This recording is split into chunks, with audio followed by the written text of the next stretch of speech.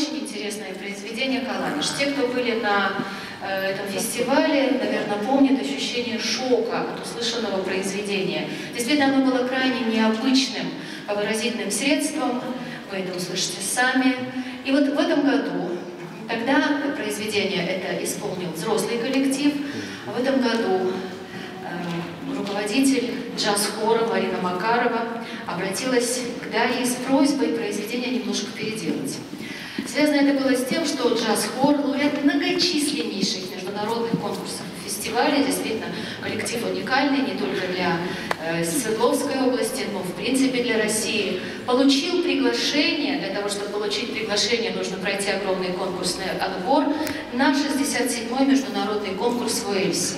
Хочу сказать, что сложность этого конкурса заключается в том, что детские и взрослые хоры выступают совместно. 20 лет ни один из коллективов, включая профессиональные взрослые коллективы, не получали приглашения на этот конкурс. Для одной из номинаций, для женской номинации, необходимо было исполнение произведения молодого, живущего в своей стране автора. И Марина Макарова выбрала «Каланиш». Хочу сказать, что результат превзошел все ожидания. Девочки привезли два золота и одно серебро. Говорят, что в истории Итак, прежде чем прозвучит Каланиш, я позволю себе прочесть ту аннотацию, которую написала сама автор. Итак, древнее культовое место в Шотландии. 14 пятиметровых каменных гигантов.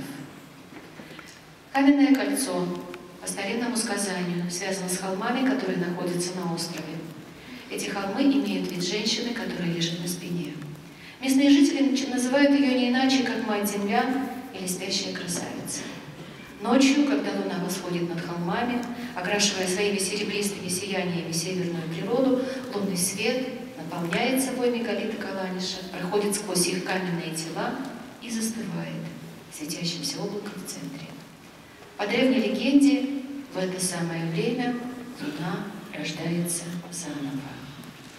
Каланиш помнит множество ритуалов и обрядов, которые проходили на его территории.